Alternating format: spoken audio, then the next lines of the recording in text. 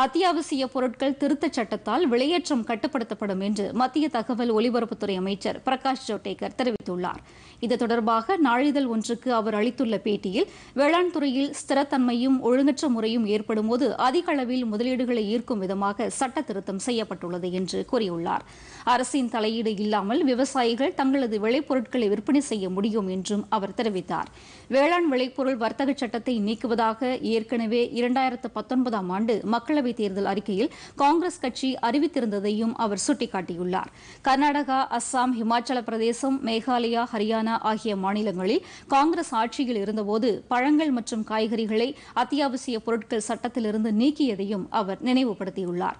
வேளாண் துறை தொடர்பான மூன்று மசோதாக்கள் குறித்து விவசாயிகளிடம் காங்கிரஸ் கட்சி தவறான தகவல்களை பரப்புவதாகவும் அவர் குற்றம் சாட்டியுள்ளார். குறைந்தபட்ச ஆதரவு விலை நீடிப்பதால் விவசாயிகள் தங்களது விளைபொருட்களை நுகர்வோருக்கு நேரடியாக விற்பனை செய்ய முடியும் என்றும் அவர் தெரிவித்துள்ளார். விவசாய உற்பத்தியாளர் சந்தை குழுக்களை கலைப்பது தொடர்பாக மத்திய அரசு எந்த முடிவும் எடுக்கவில்லை என்றும் இதுகுறித்து முடிவு செய்யும் உரிமை மாநிலங்களிடமே விடப்பட்டுள்ளது என்றும் அமைச்சர் பிரகாஷ் ஜவடேகர் கூறியுள்ளார்.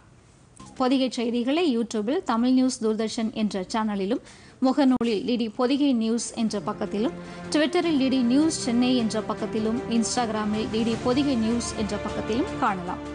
மேலும் உங்கள் கருத்துக்களை Podhigai DD news at Gmail dot com என்ற மின்னஞ்சலில் தெரிவிக்கலாம்.